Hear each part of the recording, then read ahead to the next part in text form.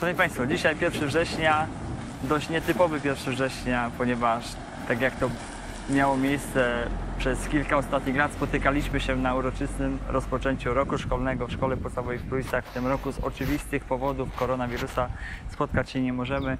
Niemniej jednak chciałbym bardzo serdecznie za pośrednictwem tego nagrania życzyć dyrekcji, gronu pedagogicznemu, wszystkim pracownikom Szkoły Podstawowej w Prujsach, uczniom, tym najmłodszym, młodzieży oraz ich rodzinom e, jak najbardziej pozytywnego roku szkolnego, który właśnie dzisiaj e, w ten nietypowy sposób rozpoczynamy.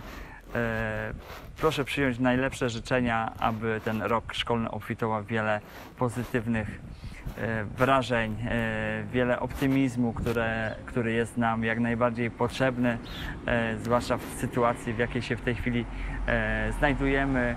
Niech to będzie rok szkolny, który nie będzie zmuszony do, do zdalnego nauczania. Jak życzę, żebyście się jak najwięcej mogli spotykać właśnie w szkole, a nie za pośrednictwem, pośrednictwem internetu lub innych programów e, edukacyjnych.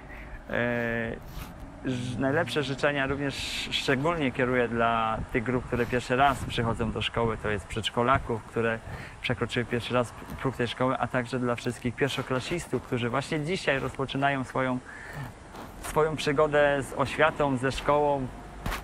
Cieszę się, że, że właśnie wybraliście e, tę szkołę w Prujscach. Ja jako absolwent tej szkoły e, jestem cały czas z Wami i, i, i życzę Wam wszystkiego.